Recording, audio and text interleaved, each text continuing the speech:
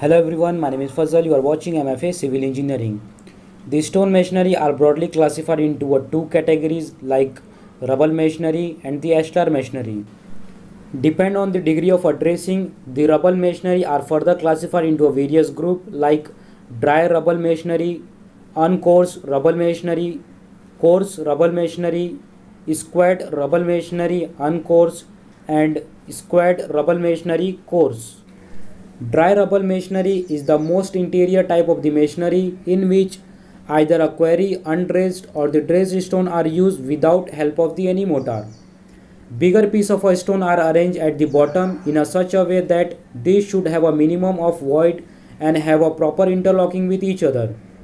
A small piece of a stone are used at the top. These walls are generally broadened at the bottom and thinner at the top. This type of the masonry is used for the construction of a retaining wall and the boundary wall of a building at the quarry site. In uncoursed rubble masonry, stone or the rubbles are used without any dressing. Means the shape and the size of the rubble or the stone used into the masonry is not same but it is varies. The masons select the stone at the random from the heap and lay them in a line and plumb so as to form a strong bond. Before laying the stone, all the projecting corners are slightly knocked off with a hammer. The joints are filled with the mortar by a steel trowel and finished to a flush.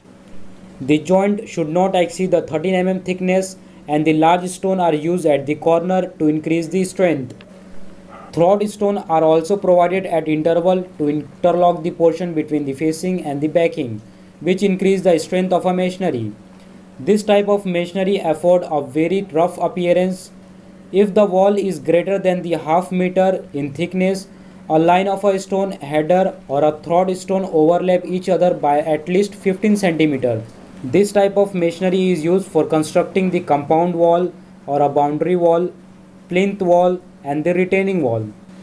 In coursed rubble masonry, stone are laid in a level course. In each course, header stone of a full course height are placed at a certain interval. Each header stone has width not less than its height and inserted into the wall at least 3 times its height. Size of the stone used in the masonry are in between 50 mm to 200 mm.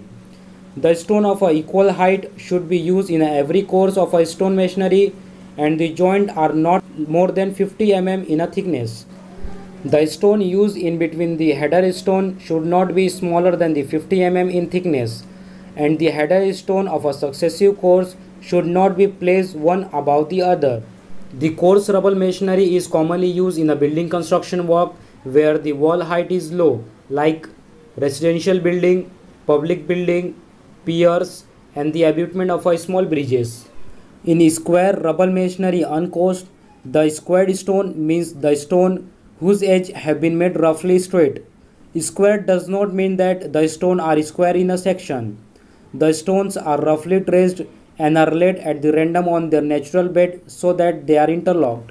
The joint should not exceed the 13 mm thickness and the void between the stone blocks are filled with the mortar and the stone chips. This type of masonry is used for making a residential building, public building and the boundary wall.